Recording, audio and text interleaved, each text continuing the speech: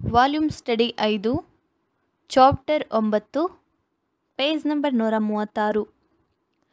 ಮಿಲಿಯಾಂತರ ಯುಗದಲ್ಲಿ ಪವಿತ್ರಾತ್ಮನನ್ನು ಹೊಂದಿಕೊಳ್ಳುವುದು ಈ ಯುಗದಂತೆ ಆತ್ಮಿಕ ಸ್ವಭಾವಗಳನ್ನು ಹೊಂದಿಕೊಳ್ಳುವಂತೆ ಆತ್ಮನಿಂದ ಪಡಕೊಳ್ಳುವಿಕೆ ಅಥವಾ ಕ್ರಿಸ್ತರೊಂದಿಗೆ ಆತನ ರಾಜ್ಯದಲ್ಲಿ ಬಾಧ್ಯಸ್ಥರಾಗುವುದು ಇವುಗಳನ್ನು ಸೂಚಿಸುವುದಿಲ್ಲ. ಆ ವಾಗ್ದಾನವು ಈ ಸುವಾರ್ತ ಯುಗದಲ್ಲಿನ ಕರ್ತನ ದಾಸದಾಸಿಯರ ವರ್ಗದವರಿಗೆ ಮಾತ್ರವೇ ಅನ್ವಯವಾಗುತ್ತದೆ. ಅವರು ಪವಿತ್ರಾತ್ಮನನ್ನು ಈ ಯುಗದಲ್ಲಿ ಹೊಂದಿಕೊಂಡು ಆದದರಿಂದ ಪ್ರೇರೇಪಿಸಲ್ಪಟ್ಟಿದ್ದಾರೆ. ಕೆಡುಕನ ಪ್ರಭುತ್ವದ ಪರಿಣಾಮವಾಗಿ ಅವರು ನೀತಿವಂತಿಕೆಯ ಕಾರಣ ಶ್ರಮೆಯನ್ನು ಅನುಭವಿಸಬೇಕಾಗುತ್ತದೆ. ಆದ ಕಾರಣ ಅವರು ಮೇಲೆ ತೇಜೋಮಯನಾದ ದೇವರಾತ್ಮನು ನೆಲೆಗೊಂಡಿರುತ್ತಾನೆ. ಒಂದನೇ ಪೇತ್ರ ನಾಲ್ಕನೇ ಅಧ್ಯಾಯ ಹದಿನಾಲ್ಕನೇ ವಚನ. ಮಿಲಿಯಾಂತರ ಯುಗದಲ್ಲಿ ಪವಿತ್ರಾತ್ಮನನ್ನು ಹೊಂದಿರುವುದು, ಅದನ್ನು ಹೊಂದಿರುವವರು ಮಧ್ಯಸ್ಥಗಾರನಾದ ಏಸು ಪೇಸುವಿನೊಂದಿಗೆ ಸಾಮರಸ್ಯದಲ್ಲಿದ್ದಾರೆಂದು ಸರಳವಾಗಿ ಸೂಚಿಸುತ್ತದೆ. ಆತನ ಆ ಅಳತೆಯಲ್ಲಿ ದೇವರೊಂದಿಗೆ ಸಾಮರಸ್ಯದಲ್ಲಿರುತ್ತಾನೆ ಮತ್ತು ದೇವರು ಮಾನವ ಜಾತಿಯವರಿಗೆ ಸಾಮಾನ್ಯವಾಗಿ ದಯ ಪಾಲಿಸಲಿರುವ ಆಶೀರ್ವಾದಗಳನ್ನು ಹೊಂದುವ ಸಾಲಿನಲ್ಲಿರುತ್ತಾನೆ. ಈ ಆಶೀರ್ವಾದಗಳು ಸ್ವಭಾವವು ದೇವರ ಸ್ವಭಾವಕ್ಕೆ ಬದಲಾವಣೆಯಲ್ಲ.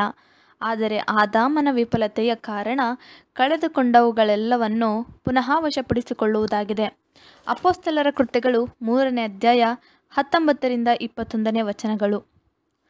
ಅಂಥವರು ಪವಿತ್ರಾತ್ಮನನ್ನು ಹೊಂದಿಕೊಳ್ಳುವುದು ಎಂದರೆ ಎರಡನೆಯ ಆದಾಮನಿಂದ ಮನಚೇತನ ಹೊಂದಿ ಮನುಷ್ಯ ಸ್ವಭಾವದಲ್ಲಿ ಪರಿಪೂರ್ಣತೆ ಪಡೆಯುವವನಾಗಿದ್ದಾನೆ ಮತ್ತು ಇದನ್ನು ಮಹಾಪಾಪ ಪ್ರಾಯಶ್ಚಿತ್ತದ ಬಲಿಯ ಬೆಲೆ ತೆತ್ತು ಕಂಡುಕೊಂಡಿರುವುದನ್ನು ಅವರಲ್ಲಿ ತನ್ನ ಕಾರ್ಯಾರಂಭವನ್ನು ಮಾಡುತ್ತದೆ ಮತ್ತು ಅದು ಮುಂದುವರೆದವರಿಗೆ ಅದು ಅಂತಿಮವಾಗಿ ಮಾನವರನ್ನು ದೈವಿಕ ತಂದೆಯ ಹೋಲಿಕೆಗೆ ಪುನವಶಪಡಿಸುತ್ತದೆ.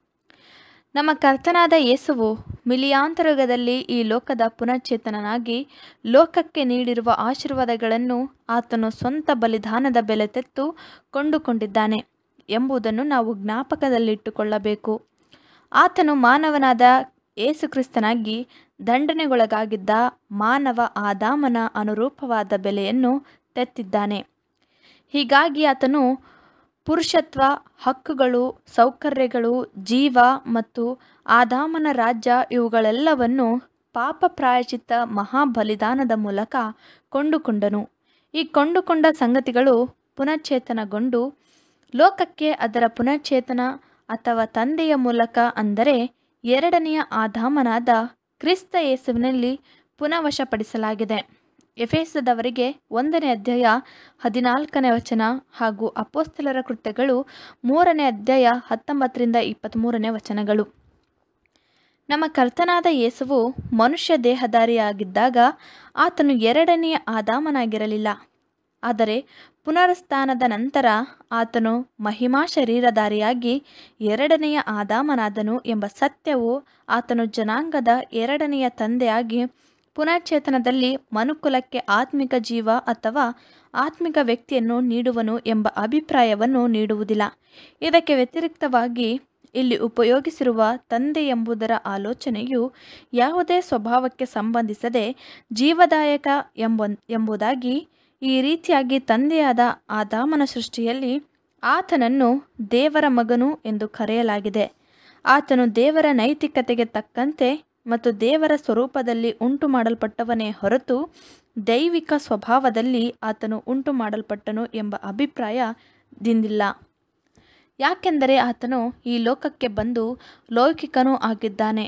ಆದರೆ ದೇವರು ಆತ್ಮಸ್ವರೂಪಿ ಎಂಬ ನಾವು ತಿಳಿದಿದ್ದೇವೆ.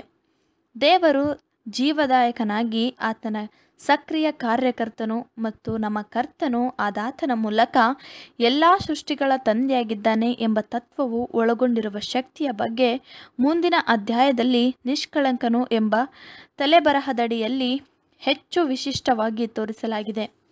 ಇಲ್ಲಿ ನಾವು ಕೇವಲ ಆ ಪ್ರಸ್ತಾಪದ ಬಗ್ಗೆ ತಪ್ಪು ಗ್ರಹಿಕೆ ಉಂಟಾಗದಂತೆ ಗಮನ ಸೆಳೆಯುವವರಾಗಿದ್ದೇವೆ. ಲೋಕದ ಸೃಷ್ಟಿಗೆ ಸಂಬಂಧಿಸಿದಂತೆ ಮನುಷ್ಯನು ಲೋಕದ ನಿವಾಸಿ ಹಾಗೂ ಒಡೆಯನು ಹಾಗೂ ಕೆಳವರ್ಗದ ಪ್ರಾಣಿಗಳು ಆತನ ಅಧೀನದಲ್ಲಿರುವುದನ್ನು ಮನುಷ್ಯನ ವಿಧೇಯತೆ ಮತ್ತು ಬೀಳುವಿಕೆಯ ಕಾರಣ ದೇವರು ತನ್ನ ಉದ್ದೇಶವನ್ನು ಬದಲಾವಣೆ ಮಾಡಿರುವುದಿಲ್ಲ. ವಿರೋಧಿಯು ಪ್ರಯತ್ನಿಸಿದ ಕೆಡುಕುತನವು ಸಂಪೂರ್ಣವಾಗಿ ತೊಡೆದು ಹಾಕಿದ ಮೇಲೆ ದೇವರ ಯೋಜನೆಯ ಮೂಲಕದಲ್ಲಿ ವಿನ್ಯಾಸಗೊಂಡಂತೆ ಕ್ರಿಸ್ತನ ಮೂಲಕ ಪೂರ್ಣನಾಗಿ ನೆರವೇರಲಿದೆ. ಸುವಾರ್ಥ ಯುಗದ ಸಭೆಯು ನಾವು ಕಂಡಂತೆ ಉನ್ನತ ಮಟ್ಟಕ್ಕೆ ಏರಿಸಲ್ಪಡುವುದು ಮತ್ತು ಕ್ರಿಸ್ತನ ಮೊದಲಗಿತ್ತಿಯು ಜೊತೆ ಬಾಧ್ಯಸ್ಥವು ಎಂಬಂತೆ ಮಹಿಮ ಹೊಂದಿಕೊಳ್ಳುವುದು. ಇದು ಮಾನವ ಜಾತಿಯ ಪುನವಶಕ್ಕೆ ವಿನಯತಿಯಾಗಿದೆ. ಅದನ್ನು ಒಂದು ವಿಷಯವಾಗಿ, ಉದ್ದೇಶಕ್ಕಾಗಿ ಆಯ್ದುಕೊಂಡು ಕರೆಯಲಾಗಿದೆ. ಮತ್ತು ಉನ್ನತ ಏಳಿಗೆಗೆ ಮತ್ತು ಕ್ರಿಸ್ತನೊಂದಿಗೆ ಜೊತೆ ವಾರಸುದಾರರಿಗೆ ಒಪ್ಪುವ ವಿಶಿಷ್ಟವಾದ ಪರೀಕ್ಷೆಗಳಿಗೆ ಒಳಪಡಿಸಲಾಗಿದೆ. ಇದು ಮಾನವ ಸ್ವಭಾವದಿಂದ ದೇವದೂತರ ಸ್ವಭಾವಕ್ಕೂ ಹೆಚ್ಚಾದ ಸ್ವಭಾವಕ್ಕೆ ದೇವದೂತರಿಗೂ, ಪ್ರಭುತ್ವಗಳಿಗೂ, ಎಲ್ಲ ಅಧಿಕಾರಿಗಳಿಗೂ ಮಿಗಿಲಾದ ಸ್ವಭಾವವಾಗಿದೆ. ನಾವು ವಾಗ್ದಾನ ಮಾಡದ ಪವಿತ್ರಾತ್ಮನ ನೂತನ ದೀಕ್ಷಾಸ್ಥಾನಕ್ಕೆ ಪ್ರಾರ್ಥಿಸಬಾರದಾಗಿರುವುದರಿಂದ ನಾವು